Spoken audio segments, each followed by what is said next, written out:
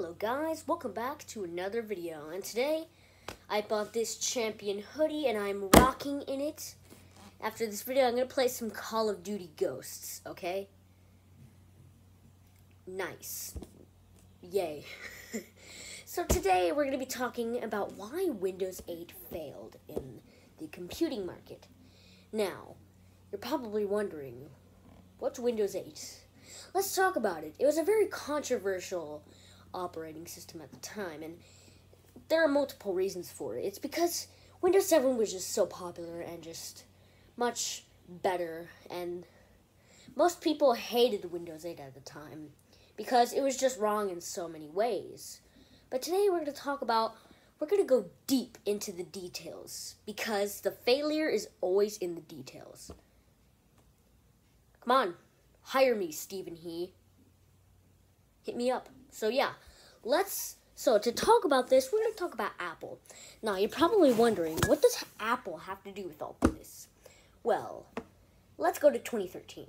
Okay, just 3 years prior to 2013, Apple released their dominating dominating tablet called the iPad in the tablet market. And this actually made everything so su- successful. It was basically like the new computer. Everybody had it, everybody used it, everybody used it to do crap on it. In fact, I'm recording this on an iPad mini. So, yeah, let's talk about it for a sec. I'm gonna turn on the light. I'm gonna turn on the right, light real quick.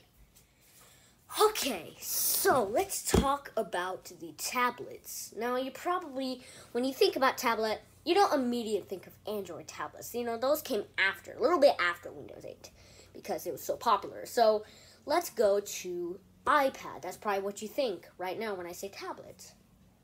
That's what I'm thinking right now. In fact, that's what I'm recording it with right now. The microphone better be good, Apple. Better be splendid. So, yeah.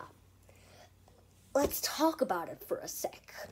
Now, the iPad was much different than most computers because it had a touchscreen and it ran the same iOS as to the iPhone and iPod Touch, and it was much like a computer, just without the stylus, just jump off the keyboard, and it's the iPad. So let's talk about why does this have to do anything with Windows 8? Well, Microsoft heard about this, and they were like, hmm, let's change our operating system a bit. So, what did they do? They decided to make it more tablet friendly for the tablet market. So, um, let's dive into the details. So, basically, what they did is they removed the start menu. Yep.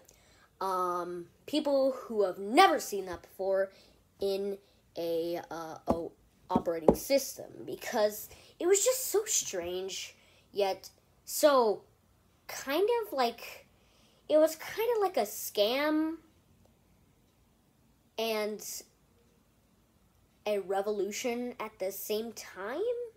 I I don't really know, but let's talk about it. Now, imagine you're using Windows 8 on a desktop, right? You have to swipe up with a mouse. You have to hold down and drag the screen up just to log in right? That just doesn't feel as essential as it is to an iPad or a Microsoft Surface Pro, right? So that's why they made the Microsoft Surface because people were complaining that it just didn't feel as essential as to if they made a la- a tablet. That's why they made the Microsoft Surface. In fact, they still make these and they're running Windows 11, which honestly pretty pretty awesome because there's so much you can do to touchscreens. You know, you can draw better. You don't have to drag your mouse all the way, all the freaking screen. You know, it's just, it's just downright better. You know, I I just think uh, if they did this with every other tablet now, not every computer, because some computers they don't they don't go well with touchscreens. Right?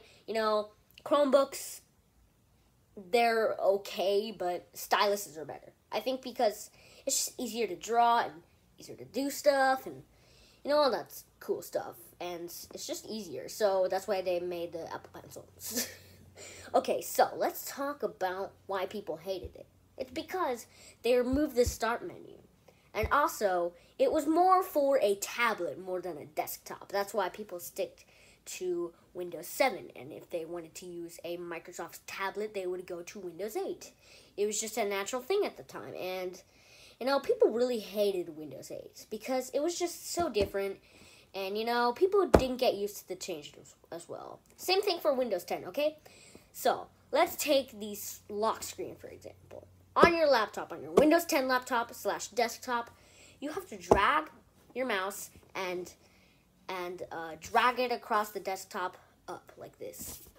And it just doesn't feel as essential as you would with your finger, which I think this is why Windows 10 is a great operating system for tablets as well, because they have bigger icons, so you can tap it very well, and it's just a great idea. I think I think Microsoft is actually going the right way. They're trying to convince people to get to the tablets, and they're trying to convince people to buy tablets from them because the market was just so so so huge at the time. And people people people loved it actually. They loved it on the tablet because it was just a, it looks great. It looks nice. The u the u oh my god. Why the frick does my microphone have to do that? Every single freaking time. God. So yeah. Everybody liked the tablet mode of Windows 8. They thought it was better than the desktop mode, and I, I can see why they think that. So, the popular Windows 7 kind of affected Windows 8 in a bit because, I mean, it's more for a desktop environment, and, you know, it's just better, and they introduced Cortana, which is better for the mobile environment. They're going the right direction once again. So, should you get Windows 8 in 2021? I mean, 20. I'm, not to get used to saying that. So, are you going to get Windows 8 in 2022? If you do, just buy the Microsoft Surface. It's just easier to use, and you don't have to worry about really controversial tweets and stuff, of course. So, yeah, guys, I hope you learned uh, that, you know, sometimes good things can be, uh, bad things can be good in a certain way, you know? like like Windows Vista. Win- Windows Vista is terrible. Never mind. so yeah, I'm gonna go play some Call of Duty Ghosts. Okay, I will see you guys in the next video. Goodbye.